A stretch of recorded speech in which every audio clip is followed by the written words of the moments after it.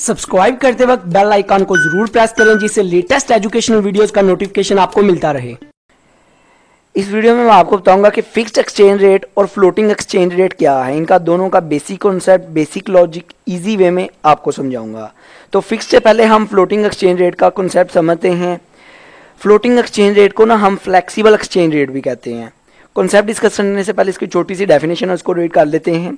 Floating exchange rate is determined in foreign exchange markets depending on a demand and supply it's generally fluctuates constantly floating exchange rate जो है ना, नाम से ही पता चल रहा है। मतलब फ्लेक्सिबल एक्सचेंज रेट वो रेट वो एक्सचेंज रेट जो चेंज होता रहे। अभी एक्सचेंज रेट क्या होता है? आप सोच रहे होंगे, सर एक्सचेंज रेट क्या होता है? वो बता दें। एक्सचेंज रेट जो होता है ना वो डिपेंड किया जाता है कि आपकी जो करेंसी है, वो बाहर की करेंसी के बराबर कितनी है। मतलब आप, आपका जो एक, आपके अगर सौ रुपया हो तो डॉलर कितने बनते हैं? एक डॉलर में आपके कितने रुपीज़ आते हैं? फॉर एग्जांपल इंडिया में सिक्सटी थ्री रुपीज़ का एक डॉलर है। पाकिस्तान में वन ट्वेंटी प्लस हुआ हुआ है।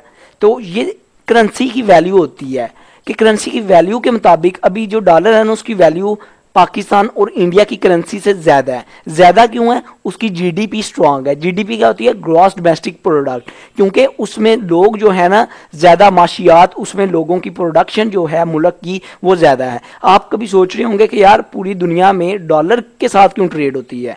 पाकिस्तान और इंडिया की करेंसी में क्यों नहीं एक्सचेंज होता? क्यों नहीं उसमें ट्रेड होती? वो वो करेंसी क्यों नहीं लोग इस्तेमाल करते इसलिए इस्तेमाल नहीं करते क्योंकि पाकिस्तान की माशियत कम है। जिस पूरी दुनिया का ना एक असूल है जिस मुल्क की जीडीपी ज़्यादा होगी वो ही मुल्क पे उसकी करेंसी ही राज करेगी, उसकी करेंसी में ही ट्रेड होगा। एक मुल्क जो है वो ज़्यादा प्रोडक्ट बना रहा है, एक मुल्क ज़्यादा जीडीपी क्रिएट कर रहा है ग्रॉस डोमेस्टिक प्रोडक्ट उसके लोग जो हैं, वो ज़्यादा बना रहे हैं। तो फिर दुनिया में रसूल है कि जो मुल्क ज़्यादा चीज़ें बना रहा है, ज़्यादा प्रोडक्शन कर रहा है तो उसी की करेंसी में ट्रेडिंग होगी। तो इसलिए डॉलर की करेंसी में ट्रेडिंग होती है। तो पाकिस्तान में और इंडिया में रिसोर्स बहुत ज़्यादा हैं, पर लोग जो है ना वो करप्टेड हैं। रिसोर्स का अच्छे तरीके से इस्तेमाल नहीं किया जा रहा। लोग करप्शन करते हैं तो उसकी वजह से हमारे जो मुल्क है ना, पीछे जाई जा रहे हैं, पीछे रह गए हैं दोनों। तो कुछ आपस में लड़ाइयाँ डलवा देते हैं दहशत गर्दी अमेरिका जो साजिश के ज़रिए से। तो उसकी वजह से हमारा मुल्क बहुत सी यार सिचुएशन है, क्या इसको डिस्कस करें?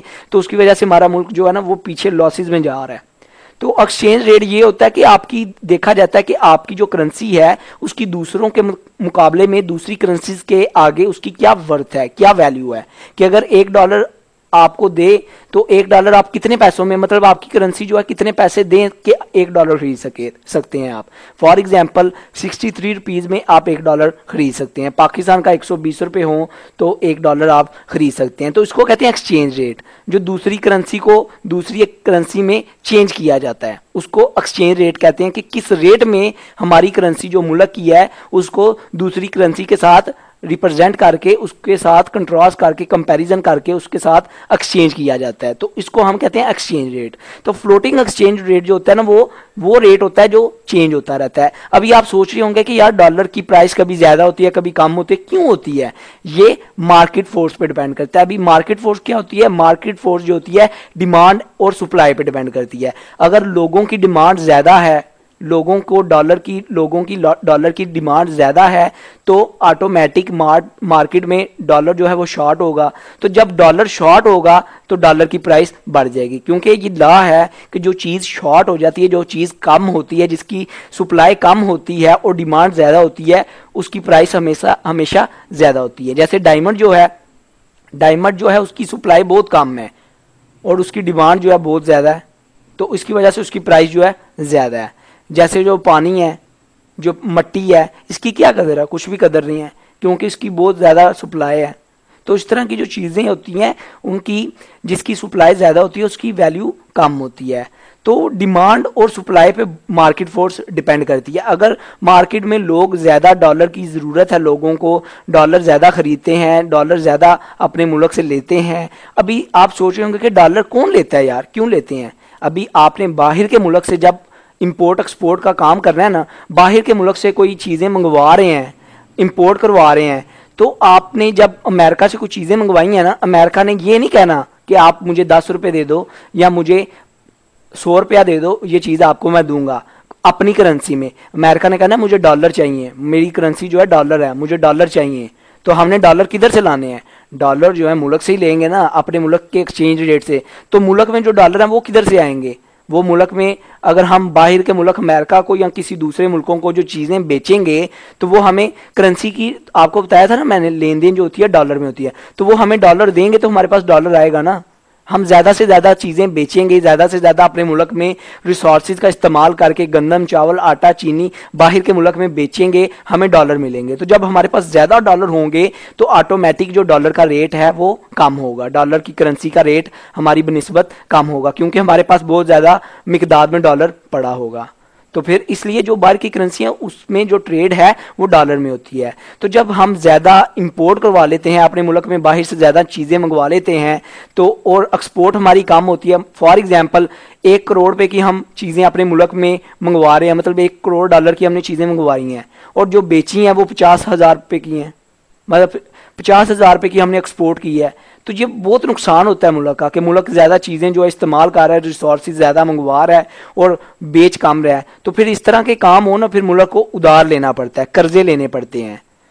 क्योंकि मुल्क के पास रिज़र्व नहीं होता, जितने भी मुल्क की करेंसी है जो नोट छापे जाते हैं, वो पीछे रिज़र्व रख के ही छापे जाते हैं। अभी आपने सोचा होगा कि यार ये जो एक कागज़ है कागज़ की कोई वैल्यू नहीं होती। ये जो नोट होता है, कागज़ का पेपर इसकी कोई वैल्यू नहीं। वैल्यू पता क्या है? इसके पीछे जो सोना बैंक में रिज़र्व रखा हुआ ना, उसकी वैल्यू है। जितना सोना बैंक में रिज़र्व रखता है बैंक के, अभी मुल्क के पास जितना सोना होता है, जितने रिसोर्सिस होते हैं, उसकी बेस पे जो है ना, हम करेंसी अपनी छापते हैं। तो ये चीज़ भी बहुत मैटर करती है। तो फ्लोटिंग एक्सचेंज रेट होता है, जो रेट चेंज होता रहे। मतलब आठ डॉलर था, बासठ रुपए का, कल होगा, साठ का, परसों होगा, पचास का तो हो सकता है महँगा हो जाए, हो सकता है कम हो जाए। तो फ्लोटिंग एक्सचेंज रेट जो होता है, उसमें मार्केट फोर्स ज़्यादा उस पर कंट्रोल करती है। मार्केट फोर्स की वजह से रेट जो है चेंज होता रहता है। आगे है फिक्स्ड एक्सचेंज रेट इसका भी इजी सा बेसिक कॉन्सेप्ट आपको समझाता हूँ। फिक्स्ड एक्सचेंज रेट जो होता है ना, इसमें गवर्नमेंट जो है मोनिटरी अथॉरिटी जो है, एक रेट फिक्स कर देती है।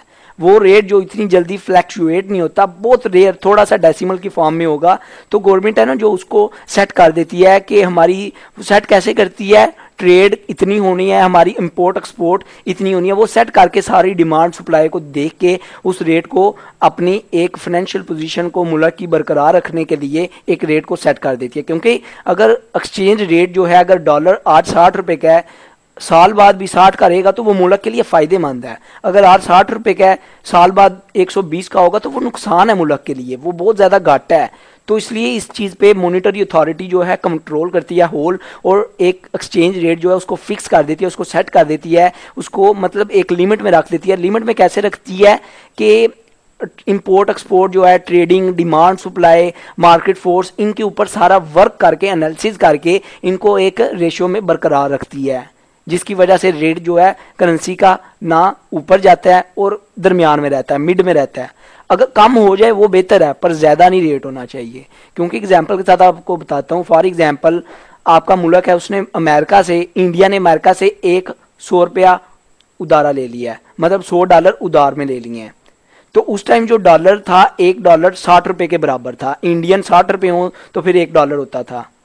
तो जब एक साल बाद वापिस इंडिया ने उसको सौ डॉलर लुटाया। तो उस टाइम जो थी प्राइस जो थी, एक डॉलर की वो सौ रुपया थी। मिसाल दे रहा हूँ, जब आप खरीदा उस टाइम साठ रुपए का एक डॉलर था तो जब वापस लुटाया उधार, उस टाइम सौ रुपए का एक डॉलर था। तो सीधा सीधा चालीस रुपए का करेंसी का करेंसी जो है, हमारी डिक्रीज हुई। हमारी करेंसी की जो वैल्यू है, वो डिक्रीज हुई, जिसकी वजह से डॉलर की वैल्यू बढ़ी। या डॉलर की जो वैल्यू है, उसकी मुल्क की ग्रॉस डोमेस्टिक प्रोडक्ट की वजह से बढ़ी जिसकी वजह से हमारी कंट्री की करेंसी जो है डॉलर की बनस्बत कम होगी। तो वो हमें सीधा सीधा घाटा है। चालीस रुपये हमें ज़्यादा हम दे रहे हैं उसको। हमारा जो ज़राए है, हमारा रिसोर्सेज है, वो फोर्टी परसेंट हम उधार उसको जब लुटा रहे हैं, ज़्यादा दे रहे हैं। हम सिर्फ़ हमारी करेंसी की वैल्यू का कम होने की वजह से।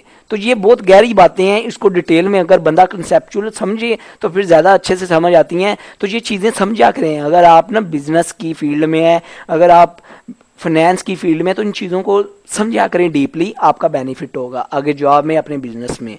आई होप आपको इन दोनों का बेसिक कॉन्सेप्ट बेसिक लॉजिक पता चल गया होगा। वीडियो अच्छी लगी हो सब्सक्राइब और लाइक करना मत भूलिएगा। अपना बहुत ख्याल रखिएगा। दुआओं में याद रखिएगा। Good bye